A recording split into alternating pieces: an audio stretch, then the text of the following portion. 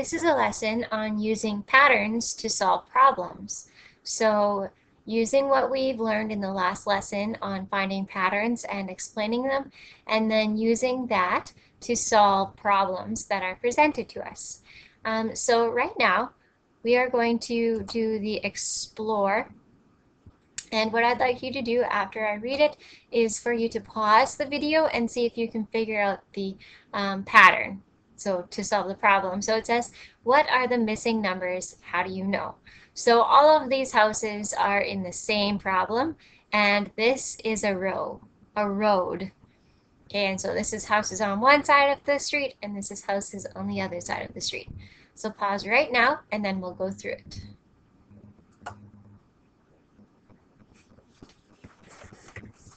Okay, so um, please if you haven't solved this, then please make sure that you've paused. Um, so a pattern that you may have noticed is this is 82, 84, something, 88. So you may have figured out that this is 86 just by skip counting. So you can see a pattern there. Um, and then you may have had more difficulty with this one because you only have two numbers on either side. But something that you may or may not have noticed, or maybe you already know this about um, houses on streets, this is how it actually works, is um, there's odd numbers on this side of the street and even numbers are on the other side of the street. So we've got 81, 82, this would be 83, 84, 85, 86, 87, and 88. So the pattern, this would skip count um, by 2 on even numbers, and this one skips count skip counts by 2 with odd numbers. Now, if we look at the Connect, it says one way to help solve problems when there are no pictures drawn for you, like in the Explore question, is to draw a table to help you organize the information you have been given. So here's our example. It says Sam charges $6 for each hour he babysits. How much does Sam earn when he works two hours, four hours, five hours? Show your results in a table. Here's your table. Okay, so that's question one. So, oops. Um, to answer question one, we've got a table, and I've drawn it for you. Sometimes you'll have to draw it yourself. So, time worked in hours. So, um, we know that when he works one hour, one hour, he gets $6 an hour. Okay, when he works two hours, how do we figure this out? Well, if he works two hours, then he gets $6 for each of those hours. So you could either go 6 plus 6 or 6 times 2 and that would equal 12. Then it wants to know for four hours. So we could put the 3 in there just to keep it consistent. 3 times 6 is 18, or 6 plus 6 plus 6 is 18. Okay, if you want to look at it, just add another 6 to this 18.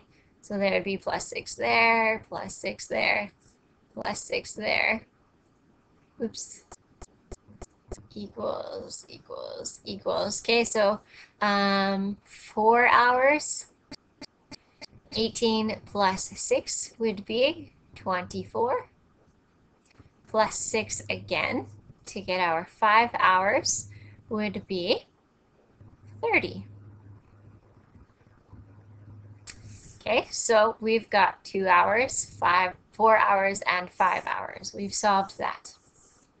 Okay, so he would earn $12 if he works two hours, $24 if he works four hours, and $30 if he works five hours. Next one says use the pattern in the table to predict how much Sam will earn working 21 hours. So 21 would go here. And we need to figure this out. So we could extend the table. So we have 6, 7, 8, 9, 10, 11, and continuing on. Um, but we also know that this number times 6 will equal the number that we want. So if we go 21 times 6, now if you need to use your calculator for this, then that's okay. You could use your calculator. 21 times 6, and that equals 126.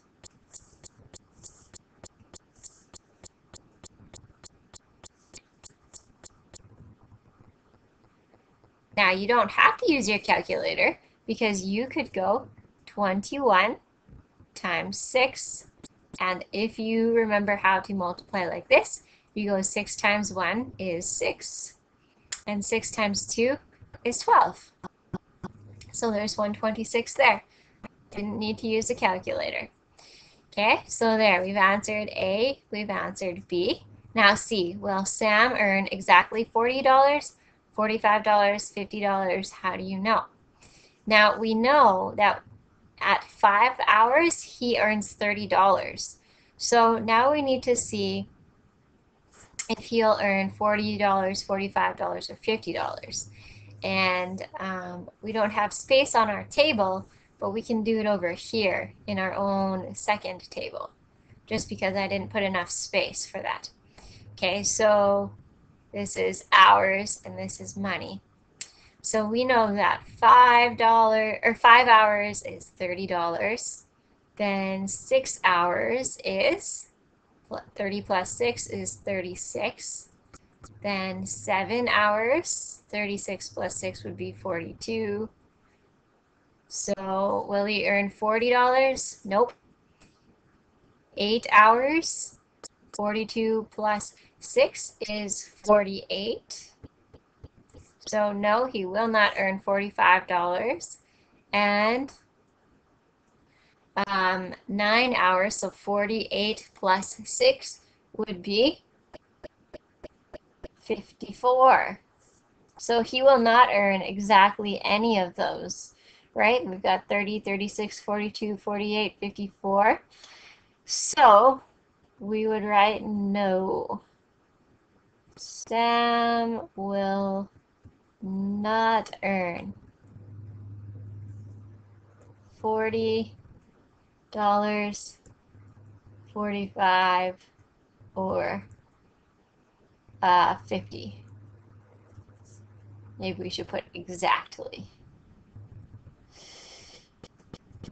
Okay, um, another method, if you were not going to do um, a pattern, you could also divide these numbers by 6 to see if they make an even number.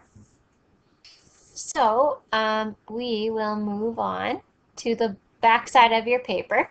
So what I want you to do right now is after I read you the problem, then please pause the video and then solve, and then we'll go through it together and you can see if um, you've got it. So this one says one puzzle book costs $17. How much does it cost to buy two books? Four books. B says use a pattern to predict the cost of 20 books. And C, suppose you have 200 books. Can you buy puzzle books that have no money left over? How do you know? Okay, so use a, a table like we did above and play the video again once you've finished all three of those questions.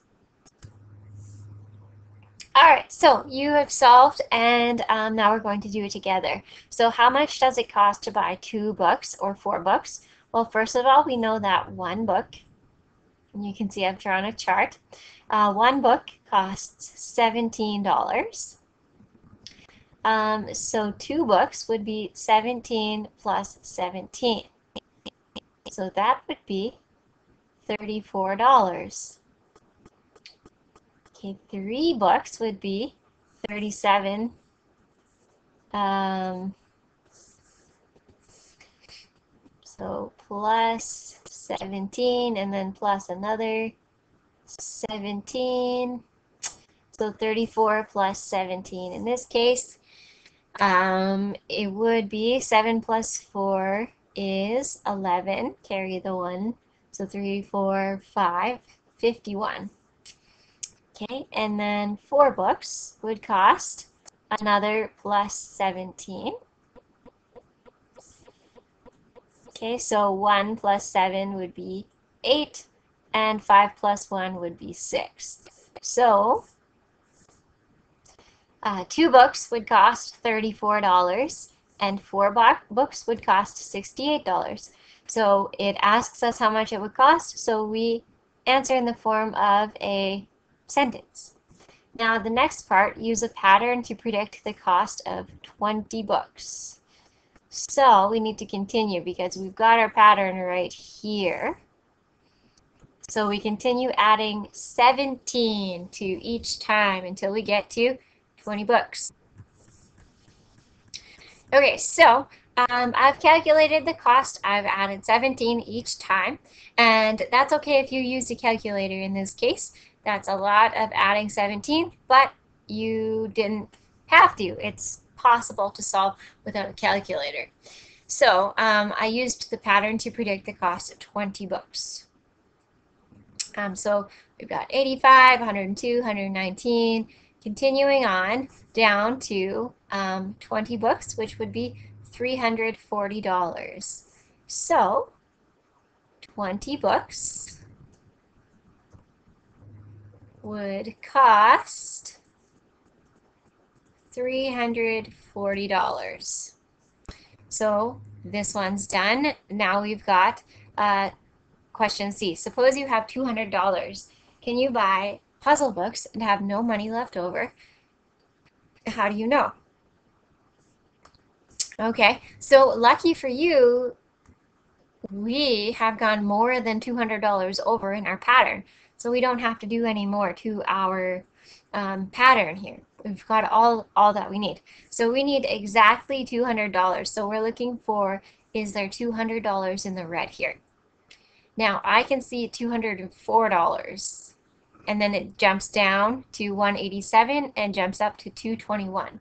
So um, can we buy an exact number of books and have no money left over? We would say that um, no, we can't.